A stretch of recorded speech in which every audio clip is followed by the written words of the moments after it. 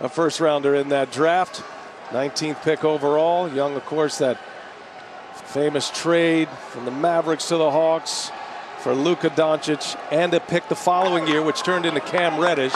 Not only are the Hawks moving on, the future plan now, but they have such great young talent all playing in the playoffs for the first time and rising to the challenge. And is Trae Young looking for his dad maybe on this Father's Day? He sure is. Rayford. Proud papa right there. That is a happy Father's Day if there ever was one. Trae Young with 21 points, 10 assists, was big in the fourth. Let's send it down to Stephanie Ready. She's got Kevin Huerter. Thank you, BA. Kevin, congratulations on the win and also a career high for you with playoff scoring. Please tell us how you all are able to believe in yourselves no matter what. You're on the road.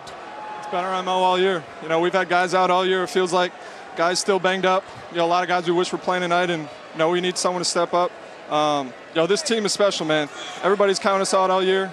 Uh, you know, for us to make it this far and, and win in this building, Game Seven is uh, that's huge for us. It's your fifth road win in this playoffs.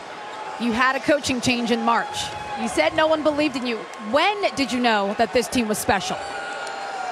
you know, we were getting put together, you know, ever since Coach Mack came in, it's you know, it's really the head of the snake. He's preached toughness. You know, us getting into ball handlers, believing in ourselves. You know, we got a young locker room, but you know, we're a little naive. We're always believing. We always know we can win, and uh, you know, we just got to keep it going.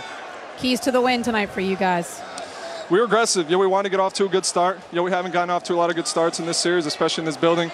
We knew they were going to be aggressive coming out, and you know, we had to get off to a good one that first quarter. And you know, once we get to the fourth quarter, we got a pretty good closer. Uh, so we just want to get there.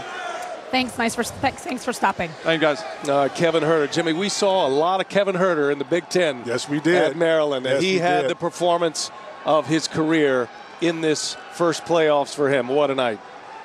Well, here's the thing: the your complementary players kind of keep you in the game, so your big time superstars can finish, and.